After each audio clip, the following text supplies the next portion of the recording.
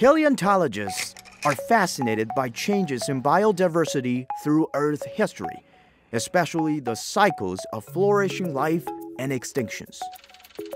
Scientists believe there were five great mass extinctions in history, including those in the Permian Triassic and Devonian periods. And some say the sixth is underway. 那么，到底现在生物多样性处于一个大规模减少的阶段，还是 基本处于一个正常的阶段？实际上是用现在的时间尺度来看，是我们很难看得清的。我们必须要研究整个地球历史的生物多样性的变化。生命的演化，它必然是受到了当时的地球上的各种环境指标的影响，比如说气候。我们想要知道生命演化它的一个驱动机制是什么。But even the top paleontologists have only the fuzzy view of Earth's natural history, which they have divided into huge chunks of 10 million years. That means they don't have detailed knowledge of any extinction or boom of life that occurred within those blocks of time. 细节问题看不到，尤其是一些突发性的变化看不到。而我们目前人类居住的地球，恰恰就是 要关注这些突发性的事件。所有的历史其实都是靠这个我们叫岩石和岩石里面的这些化石来记录的。然后里面的化石呢，就告诉我们的信息就更生动一些。Fossils are a key archive of the past, but they had been regarded only as curiosities, beautiful but worthless. until the 19th century when British geologist William Smith found the code hidden in the rocks. He discovered that superficially identical strata or distinct layers of rocks actually differed in their fossil content. 总有一个规律，就有些东西它老是在那个下面的，就是靠下的那个岩石里面；有些东西它总是在靠上的岩石里面。然后它整体的这个出现的顺序永远都一致。它把这个就就叫做化石层序率。Scientists started to realize the fossils could work as page numbers of a book to bring order into chaos. But they need to solve one big problem first. 绝大部分的以前的史前生物是不会保存的化石的。我们所现在看到的这个化石，就完全是以前那个世界的很小的一部分。As a result, it can be hard to tell whether changes in the fossil records mark real shifts, such as mass extinctions, or are simply caused by a lack of evidence.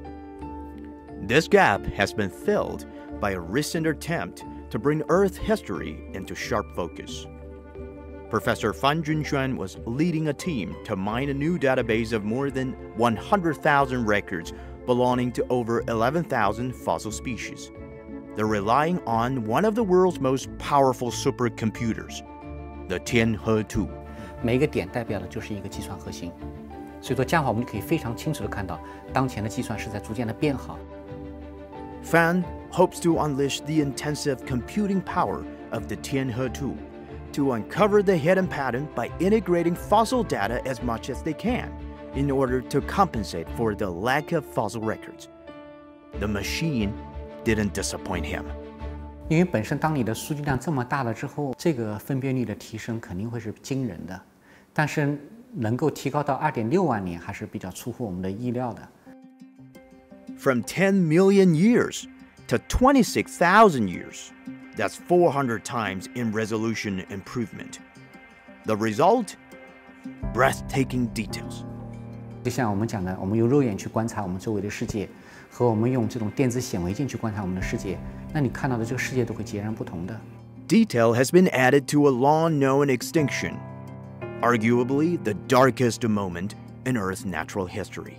最显著的这条线就代表的是我们目前所认识到的地球上面最大规模的一次生物大灭绝，就发生在2.5亿年左右的二叠纪末的一次生物大灭绝事件。这次灭绝事件呢，导致差不多百分之八十一的海洋的物种呃灭绝，而且时间非常短，只有大概六万年左右这样一个时间范围之内。The findings also cast doubt on one of the five great mass extinctions in the late Devonian, suggesting that it may not have happened at all. 泥盆纪晚期的一次事件，嗯，实际上是一个很长的生物多样性的一个下降的过程，而不是在某一个点上一个突然的下降。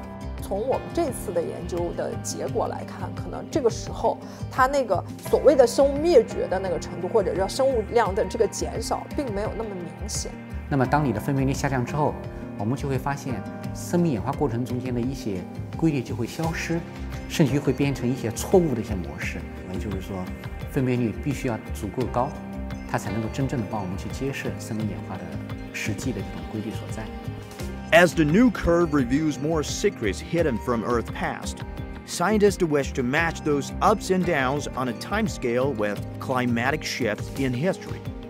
That would help us better answer one question than ever before Is today's climate change driving us to a new biodiversity catastrophe?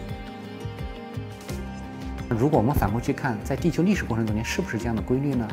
如果是，那就证明很有可能就表明我们现今的生物多样性危机是真实存在的。